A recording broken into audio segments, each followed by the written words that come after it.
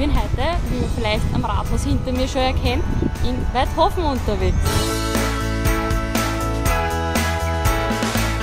Hallo, wer Hallo. bist denn du? Ja, wir sind gerade am Pokémon-Fanger, wie immer, jeden Tag. Wie viel hast du denn schon? Ziemlich viele. Ich habe vorher gerade die Arena da hinten eingenommen. Wo ist eine Arena leicht? Ähm, da bei der Südpromenade, weil da hinten ist einer. Ah, okay. Ja, genau. Und mit meiner Schwester waren wir da unterwegs.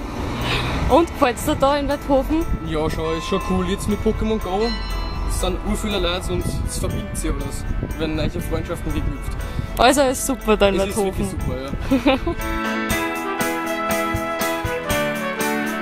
Und bin jetzt gleich direkt bei den Waldrappen. Der Weidhofener Waldrappkäfig hier hinter mir zählt zu einer von den größten und modernsten in Europa.